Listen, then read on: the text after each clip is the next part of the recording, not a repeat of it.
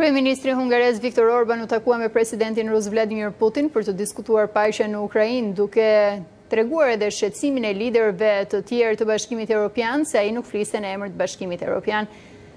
Hungaria mori presidencën e radhës 6 mujore të bllokut të hënën. Orban vizitoi fillimisht presidentin ukrainas Volodymyr Zelensky dhe ka formuar Aleancën Patriotët për Europën me nacionalistët e tjerë të krahut të djathtë. Më pas arriti në Moskë në një mision paqeje disa ditë përpara samitit të NATO-s, ku do të trajtohet ndihma ushtarake për Ukrainën. Presidentja e Komisionit Europian, Ursula von der Leyen, tha se vetëm uniteti dhe vendosmëria brenda 27 vendeve të BE-s do të hapë rrugën drejt një paqeje të drejtë dhe të qëndrueshme në Ukrainë.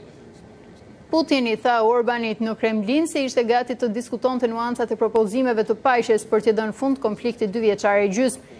Muajin e kaluar ai kishte deklaruar se Rusia do të se Rusia pikërisht do të thoshte vetëm se nëse Kievi pranon të hiqte dorë nga ambiciet e tij për NATO-n dhe të dorëzonte tërësinë e katër provincave të pretenduara nga Moska.